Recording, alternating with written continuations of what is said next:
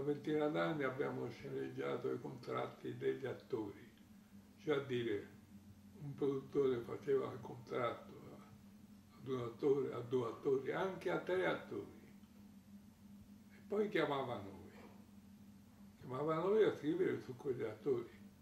Se io fossi un produttore e mi fidassi degli sceneggiatori, perché non tutti sono affidabili, io farei stare gli sceneggiatori sul set.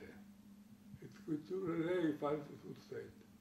Questo è avvenuto poche volte nella mia carriera, però lo sceneggiatore è importantissimo, è di grande aiuto al regista, non a fare l'aiuto regista, ma a dire aspetta un momento, fatela fare più calmo, mi succede ancora di avere dei rammarichi quando vado in proiezione alla fine di ah, ma porca miseria ma questa battuta andava detta in un altro modo.